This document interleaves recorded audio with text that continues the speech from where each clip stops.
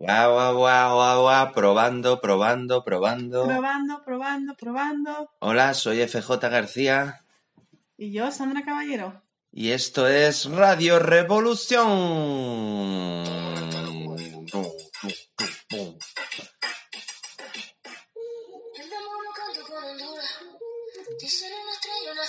Donde ponemos música. Preciosa, perfecta, Maravilloso. maravillosa. Pero, eh, no, en serio, ¿no te gusta? El, el principio no, porque es un poco reggaetón y yo por, ¿sabes? O sea, de siempre he estado como en contra del reggaetón, a ¿Por lo mejor qué? más por convencimiento que por otra cosa. I don't know. Es, es la, es Rosalía, ¿no? ¿Qué no salía? Ah, Pues Rosalía bien, reggaetón de fondo mal. Yo creo que el reggaetón puede estar bien. Lo que pasa es que siempre a veces suena igual. Entonces, o lo tenemos enfocado a que, a que tiene unas letras bastante machistas. Pero no me parece que sea malo de per se. Entonces, a ver si me entero. ¿Este podcast va a ir sobre el reggaetón o sobre Shazam? Sobre esa Sam. Esto va a ser esencialmente una crítica de Shazam, dure lo que dure. Lo que dure. Y se llama Radio Revolución, es el capítulo 7 de Radio Revolución, pero no hace falta que veáis los seis capítulos anteriores, porque esto es como Radio Revolución 2.0, eh, temporada 2, capítulo 1, ¿no? Bueno, yo creo que podríamos llamarlo que Radio Revolución es el viaje de, de Fer y Sandra. El viaje de Cuba que nunca terminó. El viaje de Cuba que nunca terminó porque no queremos que termine. No, simplemente vamos a seguir contando nuestras experiencias. En este caso va a ser el- lo que hemos visto y lo que hemos oído. Pero bueno, podríamos contar otro día, pues no sé, lo que nos parece. pues, El reggaetón. El reggaetón. Entonces, los seis primeros, los, los seis primeros capítulos de Radio Revolución eh, los grabamos durante nuestro viaje en Cuba, que nos recorrimos Cuba de pe a pa, aprovechamos el viaje, los- el viaje en, coche, que eran horas y horas cada día, entonces grabamos nuestras experiencias. Y ahora, eh, un mes después, ¿qué día es hoy? Hoy es 7 de abril de 2019, pues vamos a grabar precisamente el capítulo 7, que es todo gracias a Sandra, nos ha ocurrido totalmente a Sandra. Y, y vamos a hablar de Shazam, que la vimos ayer por la tarde. Y bueno, pues, pues nada, vamos al lío, ¿no? ¿Qué te. ¿Qué te pareció Shazam? ¿Quieres que pongamos alguna canción más parecida con Shazam? No, no es necesario, vamos a hablar de, de Shazam. Eh, simplemente lo que vamos a comentar, o sea, lo- por lo menos sobre lo que me pareció fue que era una película como muy, no sé, como muy entretenida y ya está. O sea, Ajá. nada más. O sea, me refiero nada más, ahora comentaremos más, pero simplemente que no le vi que tuviera ningún tipo de pretensión más allá de ser entretenida para el público. Y a mí siempre me gusta empezar las críticas diciendo, pues está dirigida por tal y protagonizada por tal y Pascual, pero es que no me sé quién es el director o directores. El protagonista es Zachary Levi. Bueno, el actor, el actor que sale más en la película realmente, ¿no? El, el niño sería más protagonista. Y eh, el, tú- tú- ¿de dónde ha salido más Zachary Levi? Que tú eres más de súper reconocer a los actores y ver dónde han salido anteriormente. Uy, pues eh, yo no le he reconocido en ninguna parte, la verdad. Me suena su cara de algo, pero yo qué sé. Entonces, ¿de qué trata Shazam? Es la séptima película del universo cinematográfico DC, que lo- por lo cual es apropiado que la saquemos en el capítulo 7 de Radio de Revolución. Ujú. Eh, pero tampoco hace falta, igual que en Radio Revolución, tampoco hace falta que hayas visto las seis anteriores, que for the record, que esto me lo sé mejor que, los, que el director, las seis películas anteriores fueron El Hombre de Acero, Batman contra Superman, La Liga de la Justicia, El Escuadrón Suicida, ya no lo estoy diciendo en orden, Aquaman y Wonder Woman. Y en esta peli en particular trata sobre un niño que consigue los superpoderes de cuando dice, cuando dice Shazam, le cae un rayo desde el cielo y se convierte en un, en un adulto que tiene esencialmente los superpoderes de Batman, eh, menos quizá los rayos que salen de los ojos, pero por lo demás tiene super fuerza, invulnerabilidad, vuelo, etcétera, etcétera. Es, eh, no sé, un artículo que no me llegué a leer, pero que estaba, se titulaba algo así como Shazam y otros personajes que eran básicamente copias de Superman, que fue muy popular entre los niños, principalmente porque el protagonista realmente es un niño, aunque un tenga la pinta de un adulto. Eh, creo que nos da para, aunque sea una película simplemente entretenida y tal, yo creo que, sobre todo comparado con la gran mayoría de las seis películas que he dicho antes del universo cinematográfico DC, eh, es, es es mejor que la gran mayoría de estas porque tiene como un corazoncito debajo, tiene, tiene su, su historia que quiere contar y su moraleja, ¿no? Sobre todo la, la parte de, de la casa donde vive el protagonista y en general la palabra clave para esta peli es familia, ¿no? Tiene, tiene así su... Es, es sobre, el- Sobre la familia. sobre la necesidad de la familia, sobre cómo debes eh, respetar, no, valorar lo que, lo que Lo que uno tienes. tiene, lo que tienes uno tiene, aunque sea poco lo que, lo que uno tiene, porque eh, el motor de- del niño desde el primer momento de la película es encontrar a su madre, porque lo primero, vamos, en las primeras escenas que te enseñan en la peli es... Billy se llama, ¿no? El- Sí, eso es, estás enseñando a su, a su madre, porque de repente un día en una feria... Mientras hablas voy a buscar el director que... sí, debería- deberíamos haber hecho los deberes antes de empezar a, a hablar sobre esto. Yo pensaba que con ver una película ya, ya tienes hecho... habla, habla. Pero empieza, eh, o, sea, le- le aban- o sea, bueno, me parecía bastante claro que la había abandonado, porque era imposible que una madre no se ponga a buscar a su hijo cuando lo pierde en medio de una feria. Eso Una, era- una madre abandona a su hijo a qué edad, a los ocho, No, a los 3, 4 años. a los tres. Uh, tan pequeñito era. Sí, era muy pequeñito. Es que yo como no sé nada de niños, no sé las edades. No, era, era súper pequeñito. Vale, lo pierde en una feria, pero una luego feria. no vuelve a por él o. Eso es. Entonces el niño. El niño se pone a buscarla porque a lo largo porque, de los años. De ¿verdad? hecho, una de las cosas que más me gustan es que el niño, o sea, tiene, o sea, puede ser eh, más, em, ¿cómo se dice? Más travieso, pero sigue siendo como muy buena persona. O sea, se nota que es muy inocente. No es que sea buena o mala persona, sino que es un niño, ¿no? E incluso cuando tiene los superpoderes sigue siendo un niño, ¿no? Y es realista cómo han construido la personalidad del niño, ¿no? Entonces, lo que iba diciendo es que efectivamente él empieza a buscar a su madre, entonces, como dices tú, la moraleja es, oye, mm, sé, em, o sea, sé- valora lo que tienes, porque puede ser que lo que estás buscando de más no sea al final lo que uno quiera conseguir. De hecho, ese es el problema, por ejemplo, del malo, y sin embargo, cuando llega al final, Bueno, no, encuentra- no destripamos el final o de momento no, ¿no? de momento no, vamos a dejar a los oyentes todavía con, con esa idea. Bueno, eh, algo más que decir porque yo acabo de encontrar ya los datos del director.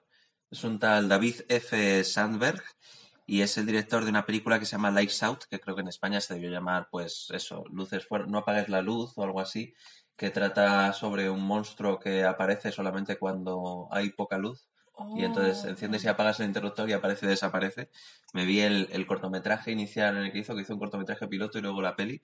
Y luego también he dirigido eh, la segunda película de Annabelle, la precuela de, la, de Annabelle, la, la muñeca esta diabólica de, del universo Conjuring, de Expediente Warren. Y esta es la tercera película que hace, aunque por lo visto antes ha estado haciendo también otros cortometrajes de terror y tal, pero sí, no, no tiene mucho y eh, anteriormente ha hecho pelis de terror. Se nota en alguna escena de la película su... Es, es curioso, ¿no? Porque la anterior película del universo cinematográfico de C también era dirigido por eh, otro eh, director que se conoce por James... a- a- Ah, Aquaman, fue dirigido por James Wan, que antes de hacer Aquaman, película de superhéroes de altísimo presupuesto, era conocido por hacer pelis de terror como, por ejemplo, Saw, ¿no? Y sí, esencialmente. Bueno, eso- yo creo que todas estas películas de Marvel y DC, o sea, y teniendo algunas excepciones, son películas, o sea, me da la sensación que los directores son eh, por, o sea, por petición. No se diría, no se diría así, en plan, vamos Por encargo, ¿no? encargo, sí. Sí, pero aún así tienes que saber el, el currículum de una persona, ¿no? Supongo que aquí dirían, bueno, haces cosas buenas de bajo presupuesto, eh, has hecho de terror, pues bueno, aquí salen monstruos en un momento dado, los villanos son básicamente los siete, eh, siete monstruos que representan los siete pecados capitales, eh, comandados por otro tío que ahora diremos. Y, eh, eh, yeah. Eh, los guionistas son Henry Gaiden con ayuda de Gard Drendenke y ya no tengo ni idea de quién es este.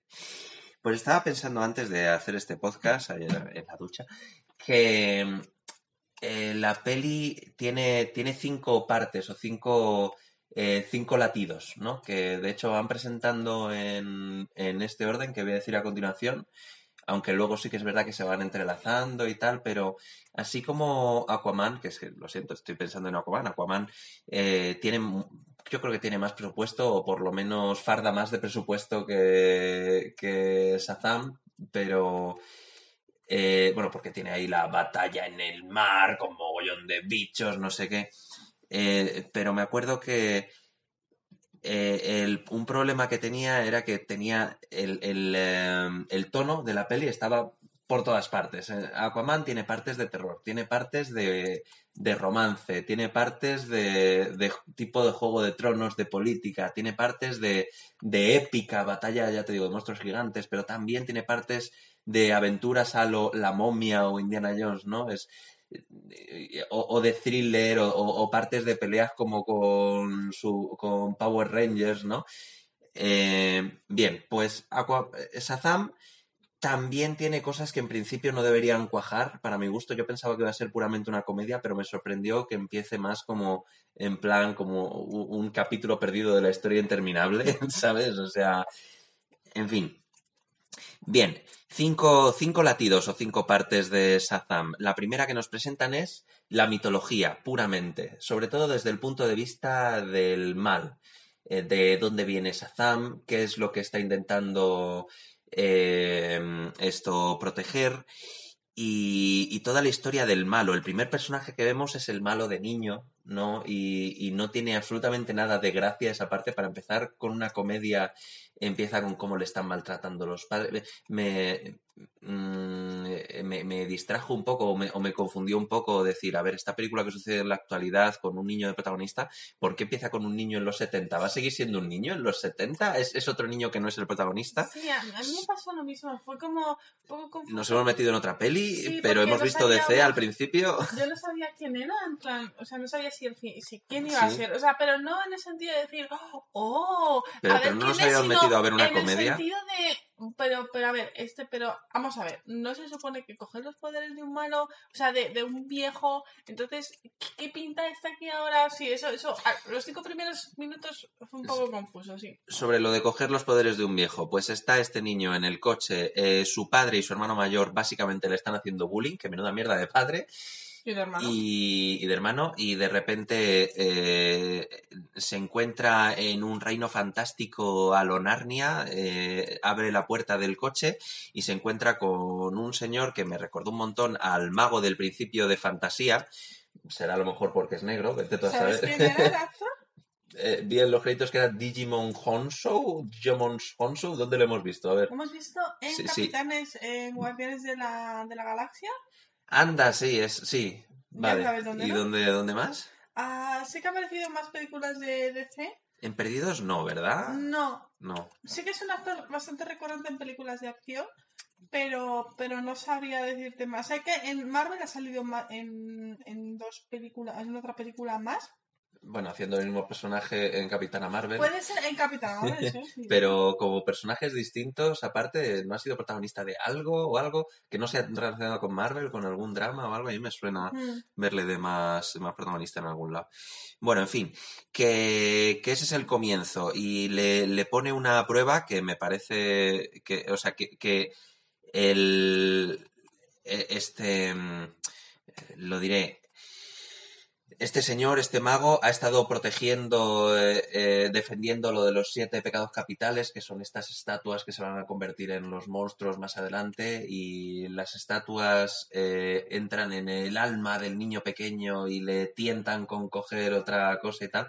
Y por lo visto, como se explica más adelante, este, este mago lo que ha estado es y va a seguir haciendo, eh, intentar buscar almas para eh, darle el superpoder de Shazam como para ser el campeón y, y- y- y defender a, a la tierra de estas, de estas. Pero explica las cosas como muy mal, ¿no? Es que Y realmente que a la única- jubilarse, Sí, sí, sí, plan, totalmente. Quiero jubilarme de una puñetera vez. Y bueno, el caso es que el niño, como es el malo de la película, falla. También suponemos que porque eh, no tiene el amor de los padres y tal. eh, que de eso va la peli, ¿no? Hemos dicho, de la familia, como se descubrió más tarde. Pero como descubrieron más tarde, no ha fallado solamente él, sino absolutamente toda la gente a la que, a, a la que le pone este, esta prueba falla. Entonces, que como que lo explica súper mal, ¿no? Y al protagonista, luego más tarde, ni siquiera le pone la prueba, o sea que Sí. podía haber fallado perfectamente. Porque- Y, y es además al que le explica mejor de qué va la cosa, ¿no? Al resto simplemente le pone ahí una prueba críptica y tal. En Sí, fin. de hecho, o sea, al prota pareció- más tarde, quiero decir, muchos años después. eso, porque, o sea, Es muy injusto, ¿no? En ese punto entiendes al villano. Sí, llega un momento en el que el. Bueno, lo que no has contado es que eh, por culpa de que el niño de repente pierde la prueba, el mal, el que luego en el futuro es el malo, pierde la prueba, están, están en un coche, y entonces eh, se pone bastante nervioso. Entonces, por culpa de eso, tiene un accidente y el padre pierde las piernas. Entonces, Mm. eh, parece que se ha muerto, que no sabes sí. que no, no te das cuenta de que ha perdido la pierna hasta luego a mitad de la peli cuando vuelve a aparecer. Eso es, pero al principio dices, bueno, mm, hom- hombre, habla un poco. En ese momento, y, o sea, intenta como hablar, ¿no? Pero Mm. bueno, es- o sea, le culpabilizan de esa situación, ¿no? Y el otro se- está totalmente ido porque acaba de entrar a un mundo que no existe, ¿no? Entonces, em, en ese punto, eh, enlazando con, con el niño, cuando entra, el problema es que antes el malo ha, ha- ha encontrado la forma de volver a ese reino y entonces se lleva a todos los, se lleva la bola de poder junto con los siete pecados capitales y se pira. Y entonces ya el otro dice, tengo que encontrar a alguien por huevos. Y ahí Venga, es cuando llega el bueno, pero claro, ya no hay ni siete pecados capitales ni poder que le tiente para poder superar la ya prueba. mucho más tarde. ¿eh? Entonces lo único que te preguntas es, bueno, a lo mejor es que el niño es tan bueno, tan bueno, tan bueno y puro de corazón que es que se le da la legua. Pero, pero la verdad es que yo más creo que es que es una decisión totalmente, em, ¿cómo decirse? O sea, desesperada por parte del, del, del mago diciendo, oye, es que ya tengo, o sea, esto no puede ser, alguien tiene que parar esto, yo no tengo poderes suficientes, toma, fuera.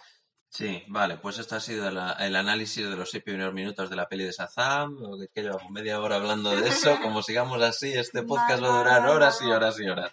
Bueno, Eh, para terminar con este primer latido, como lo llamo, eh, continúa más adelante en la película cuando el niño es mayor y está interpretado por Mark Strong, que es un actor que me gusta muchísimo desde que le vi hace ya casi 10 años en la película de Robin Hood que dirigió eh, Ridley Scott. Hacía del malo en esa peli y creo que es un actor, creo que es inglés y es un actor inglés eh, entrenado de manera clásica y hace fenomenal de malo. De hecho, me sorprendió en Kingsman que hacía de Merlín y hacía de bueno. Yo estaba convencido cuando veía a Kingsman que el giro final iba a ser que Mark Strong, que Merlín era el malo y me sorprendió que no fuera así. También hace muy buen papel en la, eh, por otra parte, no tan memorable película de Kingsman 2.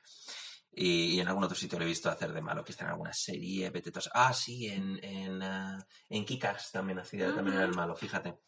Bueno, que todo, es, todo este primer latido que te digo que es la mitología pura es lo que más me choca y más me saca de la película, porque hasta muchísimo más adelante no se junta este Mark Strong o este villano con el protagonista y está teniendo su propio viaje que me parece totalmente de terror, donde se nota efectivamente eh, los orígenes del director. Eh, está buscando volver a entrar a la puerta del malo durante toda su vida y para ello está con unos científicos y tal, que la científica Mumaja se muere de la manera más, eh, eh, más, más, sobre todo, más estúpida y más innecesaria de la película. Para una peli que sea promocionado como película para toda la familia y tal, la manera en la que se muere la científica es cuando por fin eh, Mark Strong eh, consigue abrir la puerta, la científica tiene la mano puesta en la puerta y eh, se quema y se pone en cenizas y, y muere de una manera muy, muy horrorosa para, o sea, para que los niños tengan pesadillas, básicamente. Y luego, más adelante, cuando más gente toca la puerta, no vuelve a suceder. Entonces no entiendo muy bien, porque cuando tú matas a alguien, eh, aunque sea un personaje secundario en una película, entiendo yo que tienes que servir para algo. Aquí solamente sirve para. ¿Para qué? Para demostrar que el malo es malo, pero no le ha matado él, entonces no. Luego más tarde eh, coge a. co- co- comanda a las a los siete pecados capitales para matar a su padre, a su hermano y a todos los de su mesa. También me pareció una escena que duraba demasiado para una película que por lo demás, insisto, que se supone que es una comedia. Y lo va matando a todos de maneras eh, terroríficas. Ahí coge a la, a la chica con una lengua gigante, no sé qué, al otro le arranca la cabeza. Es como, pero ¿qué, qué estamos viendo? Yo pensaba que esto podía llevar a mi hermano, a, a mi hermano pequeño a verlo. Bueno, ahora mi hermano pequeño tiene 19. Pues vale, a mi primo pequeño a verlo con 10 años y esta escena a lo mejor me tira para atrás, no sé. Eh, bien, el segundo latido sería eh, a partir de después del título inicial, ¿no? Eh, que presentamos al protagonista. Sería más bien el, corazón de la película, el drama, lo que he dicho de lo que hemos dicho de la historia del protagonista de Billy buscando a su madre eh, y de la historia de toda su de toda su casa de adopción, ¿verdad? Porque se ha escapado de muchas casas de adopción y ahora está por fin en su eh, en, una, en una casa que los, los padres adoptivos eh, realmente son, son el- hay, hay una escena más adelante que vemos que la, la matrícula del coche de, de la madre pone yo soy una madre adoptiva, ¿cuál es tu superpoder? Aquí Sí. se, se trata como un superpoder de, de tan importante que es en plan tu familia, aunque sea de adopción, de adopción es tu familia, Es tu tu familia. familia eh, de verdad no tiene por qué ser tu familia biológica. Y de hecho la madre, como descubrimos mucho más adelante, eh, Es- vamos, es no, ni es una villana, ni tiene mayor relevancia en la, en la parte argumental de la mitología que hemos dicho antes. Eh, pero, pero, pero, pero es una, es una mala persona, vaya. Por eso de abandonar a su hijo, también la puedes medio entender porque dices tenía 17 años y no quería y no quería a su hijo y bien sabe bien sabemos después de además de ver Roma de Alfonso Cuarón lo terrible que puede ser que que te dejen con una, Una que- te dejen con un bombo y tengas que sabes que tener a tu hijo que no, a un hijo que no quieres y luego lo que pueda pasar con él en fin. Muy buena Roma echarle un vistazo eh, háblame de la, de la familia adoptiva de, de la casa esta maravillosa. ¿Cuántos niños son?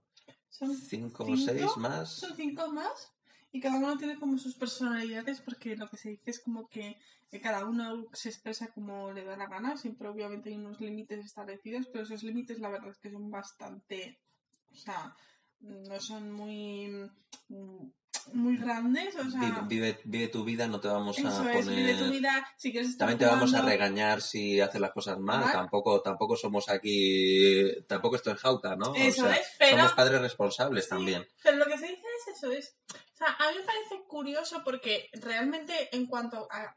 O sea, el mensaje de lo de la familia es lo mejor, más... O sea, la familia es lo más importante, o más bien la familia que tú decidas que es lo, es, es lo más importante. O sea, Ajá, realmente ajá. no es tanto la familia es lo más importante, es la familia la decides tú. Y esa familia que tú decides es, es lo importante y es lo que, lo, que, lo que tienes que proteger, lo que tienes que valorar.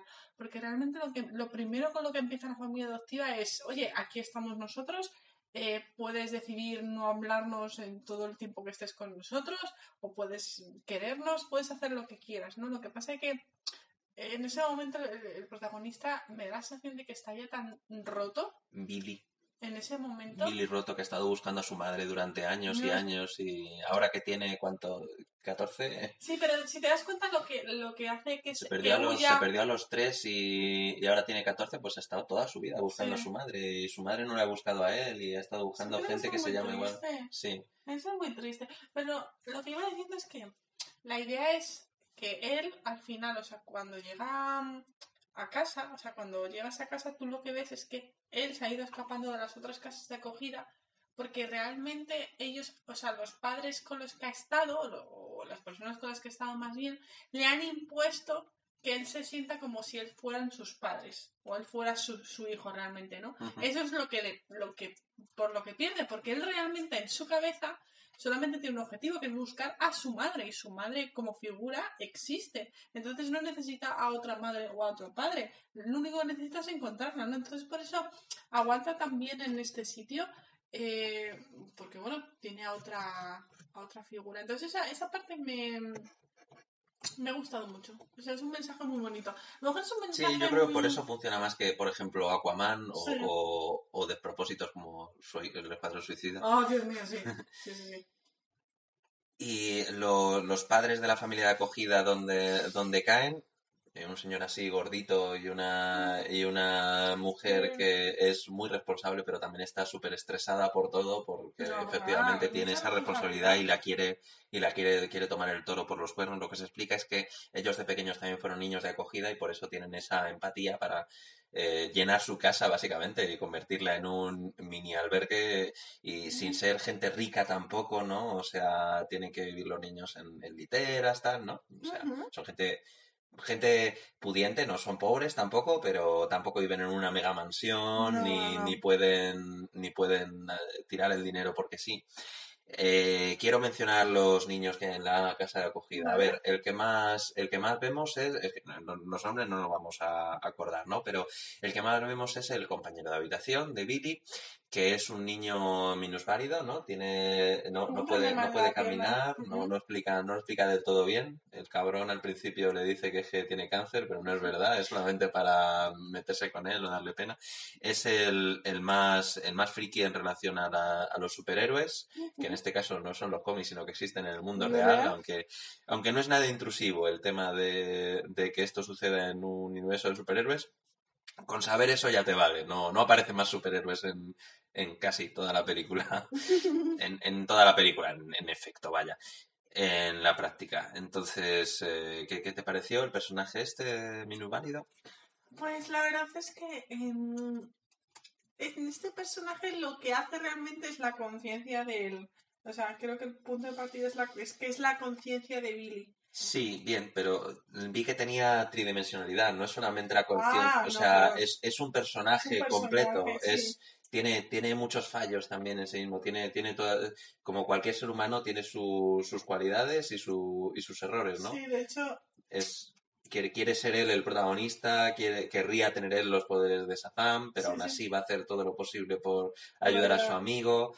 Eh, sí, quiere, quiere ser el centro de atención porque nadie le sí. hace caso. Quiere, quiere, quiere vengarse de sus, de los matones que se meten con él en la clase, pero, pero en el fondo también quiere, quiere ser, quiere ser quiere buena ser persona y quiere. sí, quiere ser ¿eh? partícipe de todo lo que le está pasando de repente alrededor, porque no solamente consigue como un hermano nuevo, sino consigue un hermano con superpoderes y es como, Dios mío, esto es lo mejor. Mm. Pero el problema es que se les va de las manos, porque de hecho hay un momento en el que el otro está mm, haciendo como rayitos de superpoder y Mm. gracias a eso... Sí, eso, eso, eso creo que lo mencionamos Ah. mejor en el tercer o cuarto ¿Por latido, más adelante, eh, porque eh, menciona el resto de los hermanos de la, de la casa. Hay, hay, una, hay una niña pequeña que parece la niña Luna, que es eh, negra con dos pompones, que es, Sí. es, es, es una... Es, aunque sea una niña pequeña, es una millennial que eh, se ofende por todo, es vegana, es, no, no le gusta como la habla de vez en cuando, pero a la vez le encanta eh, el amor y los abrazos y es súper cariñosa.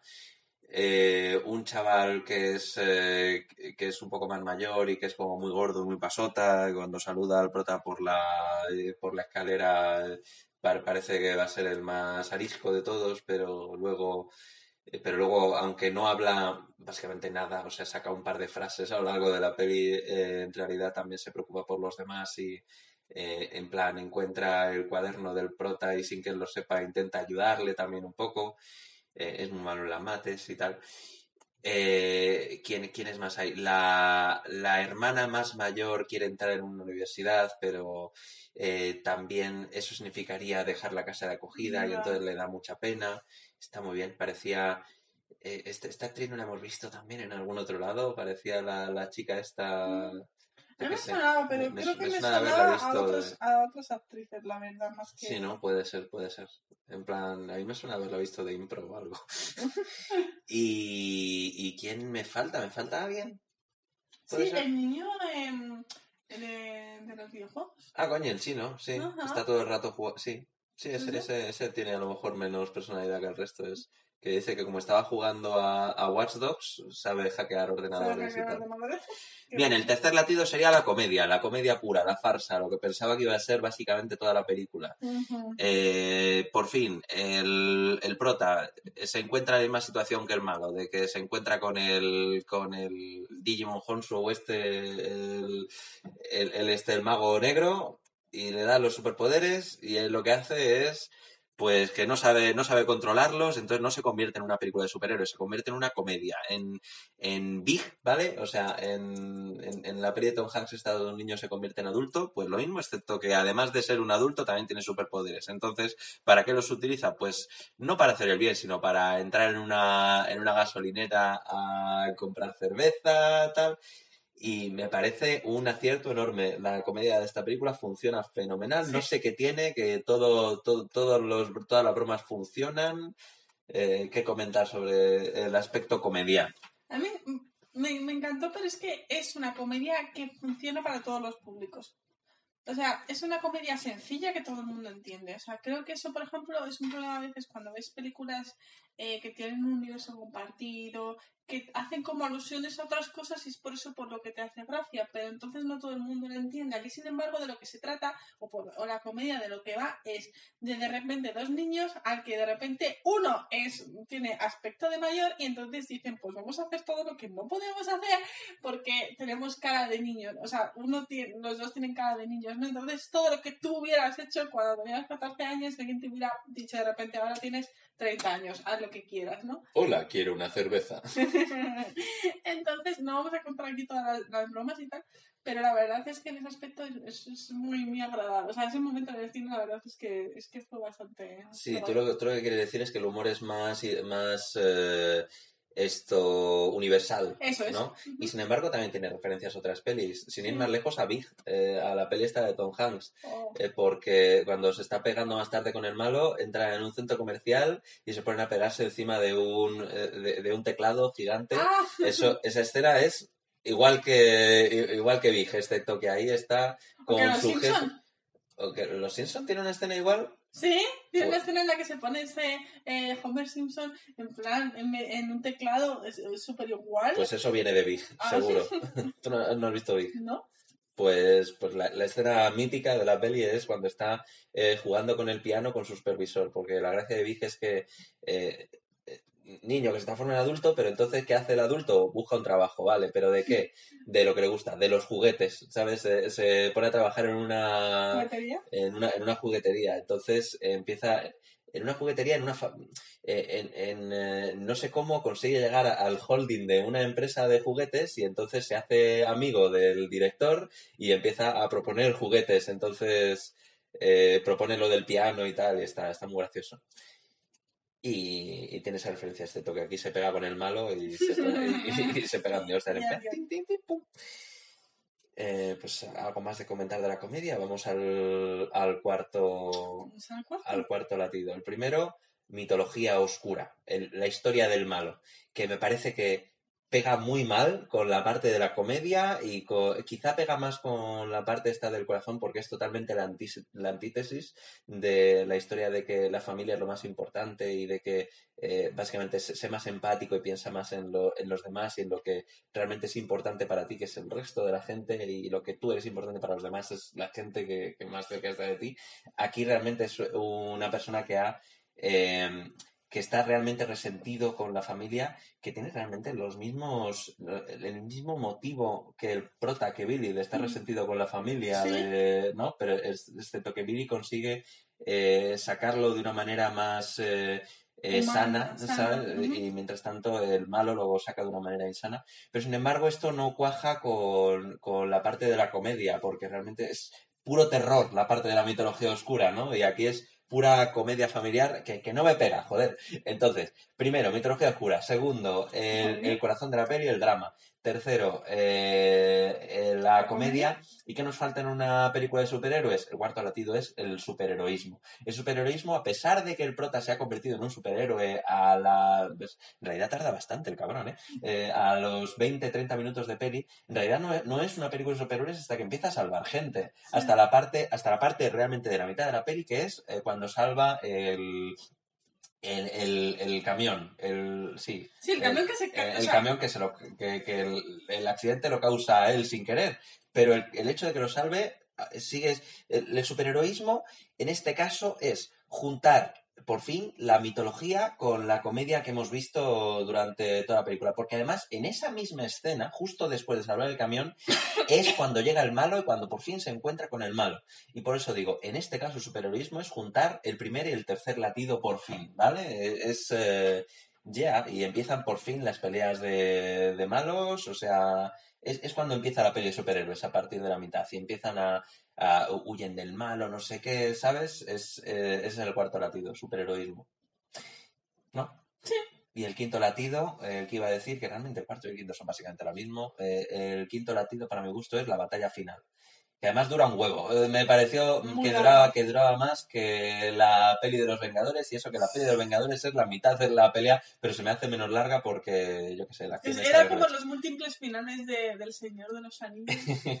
No, no, no. Ah, o sea, El, el quinto latido, la batalla final, sin embargo, aunque se haga larga en partes, creo que funciona porque aúna todo lo anterior. Ya no solamente aúna el superheroísmo, que es salvar a la gente y además pelearse con el malo, no solamente aúna eh, el humor, porque sí tiene un- muchísimo humor la batalla final, eh, no solamente aúna la mitología oscura, porque aquí ya el malo y el prota ya están, ya se conocen, ya están peleando, eh, los monstruos están unleashed, ¿vale? Están desatados por la ciudad, está todo unido, pero también se une, y esto es muy importante, el segundo latido, el, eh, el, el drama, el corazón de la película, porque la familia adoptiva no está fuera de esta batalla final, está muy dentro de esta batalla final.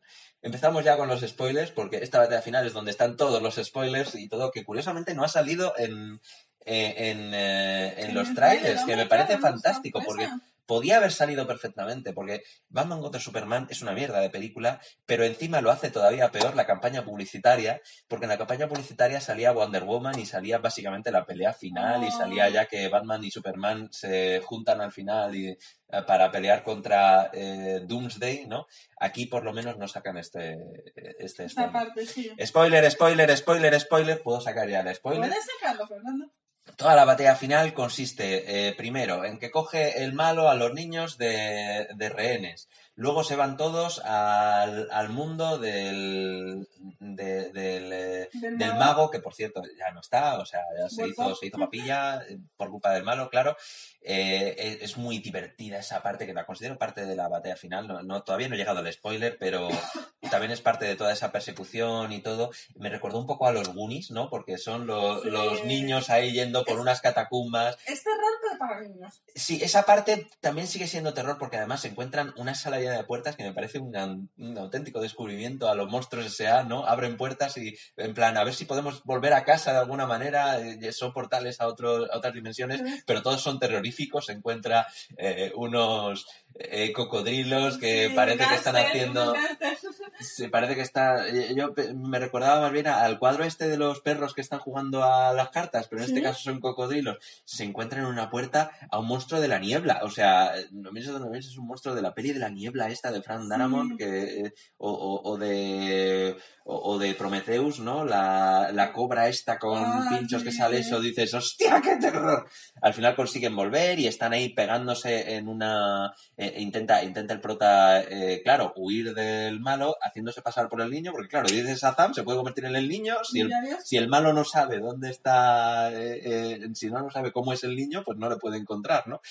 Eh, pero el malo entonces, como sabe que están en una, en una feria, pues intenta básicamente cargarse a todos los de la feria, entonces obliga a sacar a Shazam y tal. Y eh, eh, intenta quitarle los poderes a Shazam. Tienen ahí la vara del, del mago y si dice Shazam junto con, mientras están los dos cogiendo la vara, el malo cogerá los poderes de, Shazam y podrá eh, liberar a los siete pecados capitales por la tierra. Entonces, el prota ve esto y lo que dice es, bien, pues tengo esta vara para compartir mis poderes, voy a compartir los poderes eso es fantástico porque comparte los poderes con ellos y todos dicen Shazam. Y se convierten todos en Shazam, que cuando eh, se convierten en adultos, eh, primero aparecen detrás de una niebla. Estaba convencido en ese momento que cuando se fuera a disipar la niebla y se desvelaran los cuerpos de los eh, jóvenes que se habían convertido en adultos, estaba convencido de que iban a ser todos Zachary Levy. estaba, yo estaba convencidísimo, porque además tengo, de, de Shazam en realidad no he leído mucho, pero tengo cómics de un personaje que se llama Mike Timan, que realmente es una copia descarada de Shazam, por Eric Larsen en este caso, eh, que la gracia es que quien tenga los poderes de Mighty Man se convierte en, en este hombre, ¿vale? Que es básicamente igualito que Shazam. Y la gracia de, de esto de Mighty Man es que la que tiene normalmente esos poderes es una enfermera. Entonces es una tía que eh, no dice no dice Mighty Man ni Shazam, sino que choca a dos pulseras que tiene y se convierte en este en este señor que desde luego es un disfraz magnífico porque jamás nadie se imaginaría que es una enfermera. Tiene ahí, ¿sabes? Es, un hombre, joder. y, y aquí, sin embargo, eh, no son todos Zachary Levy, sino que cada uno está interpretado por un actor distinto que representa eh, la versión adulta y eh, eh, to- tocha, ¿no? Con todos los músculos de los, de los hermanitos, ¿no? un poco aleatoria, me parece también. Supongo que, supongo que cada uno representa la, eh, a, nivel, a nivel a nivel subconsciente representará lo que, lo que ellos mismos se imaginarían siendo superhéroes, Sí. ¿no?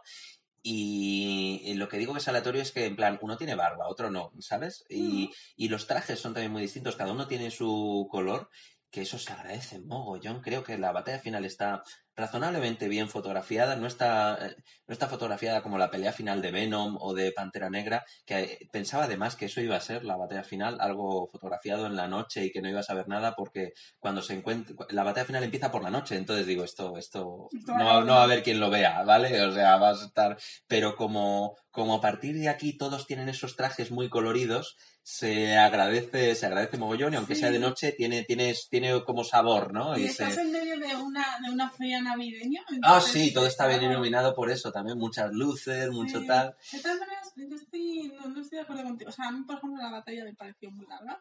Mm, Me pareció lenta, no, me pareció que no tenía mucho ritmo. Es cierto que visualmente se agradecía que no fuera tan con tantos efectos especiales a la cara, digo, con tanta cosa alrededor. prácticos, ¿no? Porque Parece. sí, pero la idea es Aunque que los bichos sean digitales.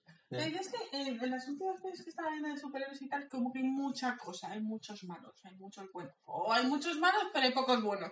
Aquí hay siete malos, o sea, los, los siete pecados capitales, más el, el esto, el, El Mark Strong el Mark este. Strong. Y luego los superhéroes. Y ya está, y no hay más. Y además están en medio ahí del cielo luchando, entonces visualmente no se hace demasiado pesado. Eso, eso le doy un punto. Pero eh, la pelea en sí me parece como muy poco fluida. O Se hace un poquito larga. Yo Sí. creo, yo creo que coge ritmo precisamente a partir de que se convierten en todos en, en en super- Shazam. claro, porque yo me estaba Pero- preguntando por, por qué. Quiz- Quizá ¿Por qué todavía. tardan tanto en, en- en hacer algo? Porque estaban en plan, sí, os salvo, no, venga, huyamos, luego, venga, sí, os salvo. Y era como, Sí, esta Mm. peli dura dos horas y diez y sería igualmente disfrutable si durara una hora cuarenta Eso es. o algo así. Sí, También sí, hay sí. partes de la peli. Yo, gran parte de toda la, eh, como digo, de toda, de todo el primer latido, de la mitología oscura, de la historia del malo, lo habría cortado también y gran parte de la batalla final también. mm, Eh, pero lo que hay, lo que no hubiera cortado, desde luego está, está muy bien. Y, y tampoco, aunque se haga un poquito larga, tampoco se hace, tampoco se hace, eh, tampoco lo odias, ¿no? O sea, no, la verdad es que no. está, está bien. Y, ah, lo que estaba diciendo de los, de los trajes también es que, es que, aparte de que es un poco aleatorio que cada uno tenga un color, es que hay dos chicas y una tiene falda y la otra no. En el traje, ¿qué, qué opinas tú de eso? What the fuck, no, no entiendo nada. Es, es una tonterilla que yo estaba diciendo, pero ¿por qué, por qué la que hacía de la, de la lunela esta, la, la, La, que- sí, la, la más la- pequeña. la- la negrita con los pompones no tiene, no tiene falda, pero la universitaria que va a descubrir el sexo en el futuro cercano eh, sí que tiene falda, bueno, ¿no? ¿What? Sí, o a lo mejor, es que a lo mejor hay un canon en ese aspecto que nosotros no sabemos y a lo mejor justo, porque, Sí, ¿no? ¿Tú por que ejemplo, estos personajes saldrán en el cómic? seguro. En plan, la fuerza Shazam, el- la Liga de la Justicia de todos Shazams. Yo sí, yo, o sea, me parece que sí, pero además es que yo cuando vi a la chica, a la universitaria, es que tenía los mismos colores que Sasha, o sea, que, que Billy. Entonces lo que me da la sensación es que a lo mejor en los cómics era su mujer o su pareja. Hombre, o aquí no así. creo. No, aquí hermana- obviamente no va a serlo, pero me refiero O por el bueno, tipo. bueno, no es la hermana gen- eh, la No. genética. Podrían, podrían pero- enrollarse en el futuro. no, no, Pero no, quedaría no, raro porque no, realmente no, son no, no, familia. no, no, no, no. Pero puede ser perfectamente porque en los cómics fuera su mujer y tuviera el, el mismo estilo, pero versión corta, y a lo mejor los otros han sido algo más del futuro. O a lo mejor su hermana, Supergirl, no es la mujer de Superman, es, Mm. es, es cara, cara él, es la hermana de, de, de, Sí. De y tiene exactamente, o sea, igual que Shazam es una copia barata de Sí. Superman, aquí la chica esta, la universitaria, tiene el mismo traje que tiene, Sí, que tiene sí, sí, por Supergirl. eso te digo que. Y tiene, y Supergirl tiene los mismos, poder- los mismos poderes y los mismos colores que Superman, es lo que quería yo decir. Pero que a lo mejor tenido, han podido tener más creatividad o más eh, libertad creativa con respecto a los otros trajes que justo con, con una de las Vete, vete a saber. Pero me gustaron, eh, me, me hacía mucha gracia. El tío con barba realmente es el más fuerte de todos. ¿Quién, quién era? Representaba al gordito, ¿no? sí, Eh, gordito. Pedro se llama. Sí, sí, a- lo que intenta coger la noria y es tal. Está muy divertido todo mucha, mucha diversidad. Sí, también, diversidad. pero no queda tampoco... No, no es en tu cara, o sea, no es como eh, eh, estamos en una peli que por obligación el 10% mm, tiene que ser una, un- una raza, bueno, una raza no, no suena bien eso, pero, pero me refiero que tiene que haber dos chinos o dos negros, o no, no, no, o sea, no es en tu cara, simplemente lo ves y ya está, es lo normal, lo que tendría que ser normal, pero oye, ahí está.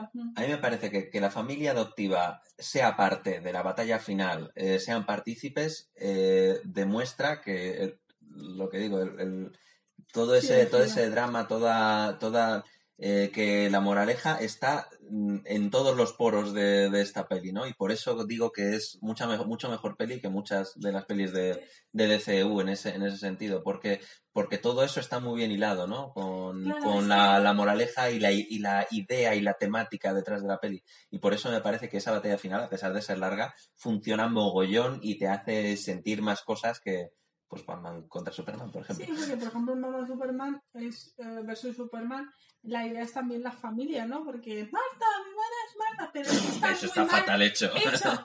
Porque aquí desde un primer momento ves que efectivamente ese es el motor de, del niño, ¿no? Entonces, eh, El niño todo el rato era un robot, tenía un motor dentro. Es, bro- es broma. Es broma. Pero yo, por ejemplo, eh, ha habido una cosa que has dicho que el niño eh, ya estaba como el niño, el malo, vamos a decirlo así, en la parte de cuando 30 años antes o lo que fuera sale cuando es niño pequeño y dices, es que era malo, ¿no? O sea, el otro también ves a la mitad de la película cómo está entre esos dos puntos, ¿no? Es decir, podría perfectamente tomar una mala decisión que le lleve a ser una persona totalmente desdichada el resto de su vida. Tan Está- malo como Mark Eh, Strong. Eso es. Están, yo creo que ju- El, el en- doctor Silvana, por cierto, se llama el personaje. Mm, está en el momento más crítico de su persona. Porque está eh, huyendo de todas las casas de acogida. Es decir, si Aparte, mejor- niño que se está desarrollando, adolescente casi. Sí, es, es decir, podría perfectamente haber acudido a otra casa que no le hubieran tratado igual de bien, hubiera cogido los poderes, no hubiera tenido a nadie como su hermano para ponerle los pies en la tierra y entonces a lo mejor todo esto hubiera acabado fatal.